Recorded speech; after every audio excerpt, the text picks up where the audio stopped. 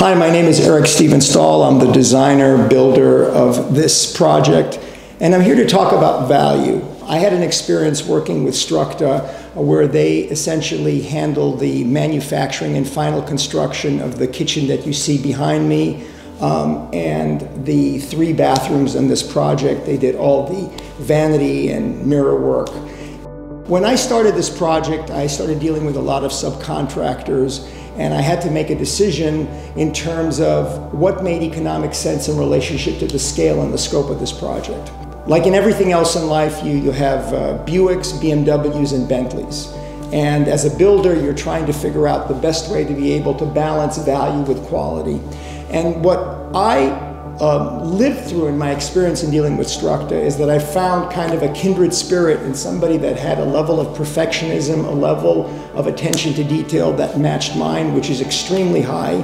The uh, president CEO of Structa, Isaac, um, is about as OCD as I am. And one of the key things that early on we discussed, I said, look, my expect expectations are very high. I don't want this job kind of slapped together. And I could tell that he had a great deal of passion in terms of being able to deliver a high level of quality. There are certainly companies that you will get that will bid lower, but there's an old Purolator TV commercial that used to say, pay me now or pay me later. And the joke was that if you don't use the proper oil filter, eventually your engine's going to get destroyed and it's going to cost a lot more than an oil filter. What I learned about working with Isaac was that he was competitively priced in terms of value in relationship to what I was getting.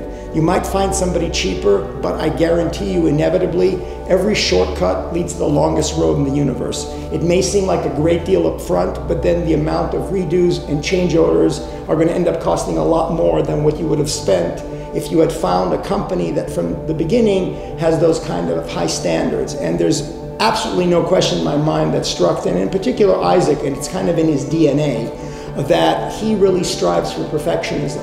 And if you look at the detailing, the precision, the tolerances of everything between the seams, in all the cabinetry and the doors, if it wasn't done right, he would send the crew back because human beings obviously make mistakes and they would redo it until it was done right. And they never made it sound like they were doing you a favor. They understood that those were the standards, and those were the standards that they wanted to be associated with, meaning they strive to be the very, very best.